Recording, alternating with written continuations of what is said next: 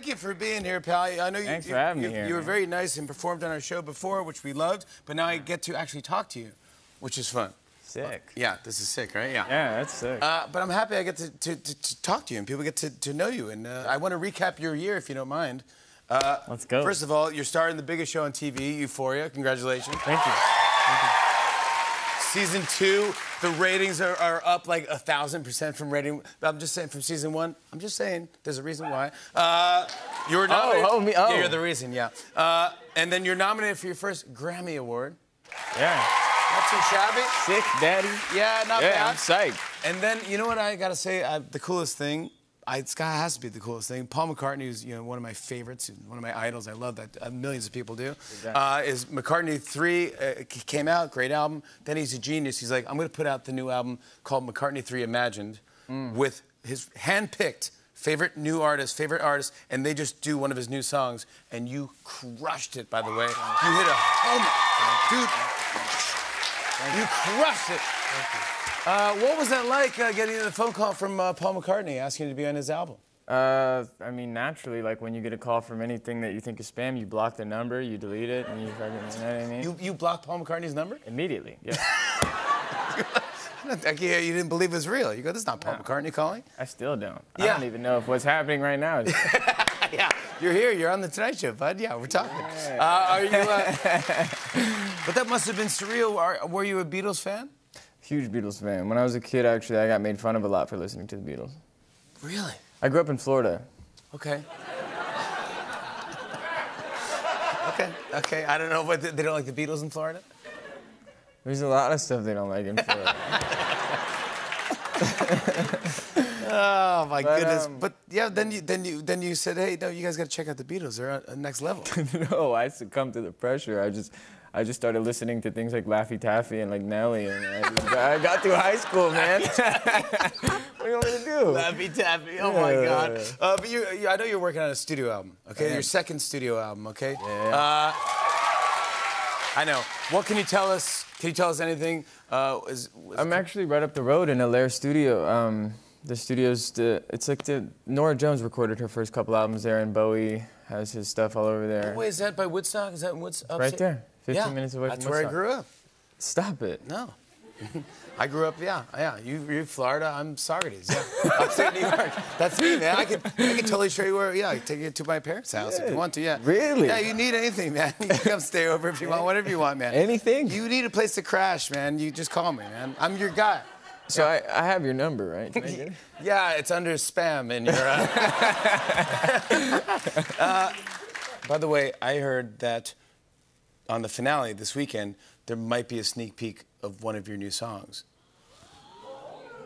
Where do you hear stuff like that? What are you talking about? I'm Jimmy Fallon, dude. I hear everything. I know everything. I know everything, man. I mean, yeah. What do you know anything about it? Um,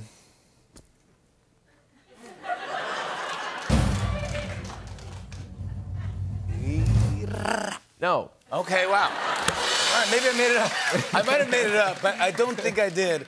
Uh, I, I, I want to, but there's stuff on the internet saying that it, there might be a new song from you. Just saying that would be Stuff cool all if there over was. the internet. Speaking of what's on the internet, there's a lot of uh, there's a lot of fan theories about Euphoria and your character. Oh, yeah, yeah. And I was wondering if you could maybe are. talk about a couple of the theories and see if you can hint to maybe they're true or not. Let's do it. You play Elliot on the show. Uh, there's one is that Elliot is actually Nate's estranged brother. Could that be true? I mean, uh, No. I'm not even gonna lie. I saw this one online. Okay. And I looked at it for a while, and there were so many things connecting, and so many people were talking about it all through these Reddit threads. And at the end of it, I was like, "Am I Nate's brother?" You're like, yeah, maybe it could be true. Yeah, it might be. I almost called him up and asked him. man. Okay, uh, Elliot. Oh, I love this one. This one I actually love. Elliot doesn't actually exist. He's a figment of Rue's imagination. Oh my gosh. You wish. Will, last one. Will Tom Holland appear in the Euphoria finale? tell us. Tell us right now. Come on, tell us. I knew, I knew I was gonna hear Tom's name. Come on. Dominic, you can tell everyone right now. Is Tom Holland on this weekend? What I can tell you is that Tom's a surprisingly nice guy for being Spider-Man. You know, because you assume as Spider-Man you can do whatever you want. You can walk into any room and just It's a Demand stuff. point at someone's girlfriend. You know what I mean? E- either way. he doesn't do that. He No. points at his girlfriend and kisses her on the mouth. Yeah. And it's nice. It's a good, yeah, no, I know, sweet, yeah. Um, he's how's, actually how's really Zendaya? dude. How, are the, all the actors? I mean, did they? They're amazing people. You know, you expect actors to be a little bit, they don't tell you as much about their private lives as musicians do. the musicians just get in there and tell you everything. You know everything. Well, Open book. Well, ish. well, Yeah, yeah, yeah. To a point. To it, yeah. Yeah, but actors keep it quiet. They do, don't they? What do we really know about you, Jimmy? I don't know how to make a sandwich. That's one thing we learned. uh, but the show is already renewed for season three. Do you think we'll see you back in season three? Absolutely, yeah. Yeah, that's what I'm talking about. Uh, you're gonna perform for us uh, tonight. Yeah. Uh, first, I want to show a clip. Uh, here's Dominic Fike and Zendaya in Euphoria. Take a look at this.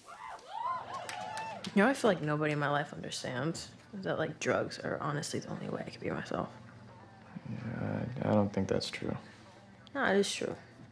Like when I first met you, I would have never had the balls to just like come up to you and talk to you. Why? Uh, I'm just like a deeply shy person. and like with Jules, right? Like when I first met her, I was just immediately in love. In love. Yeah. You say it out loud, kind of sounds small. What's a bigger feeling than love? That's, that's how you do it right there. yeah, baby. Dominic Fike, everybody, check out season two finale of Euphoria Sunday night on HBO and HBO Max. Hey, hey.